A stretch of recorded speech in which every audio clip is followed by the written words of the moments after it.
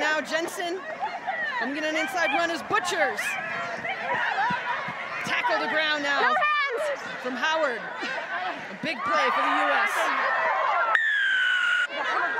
Just a little too excited on that one was Nate Serevi, and the penalty is going to go the way of the Barbarian Football Club. Going straight to the floor is the call. The Barbarians, no shot at goal. They're going to score some tries, or they want to go for tries.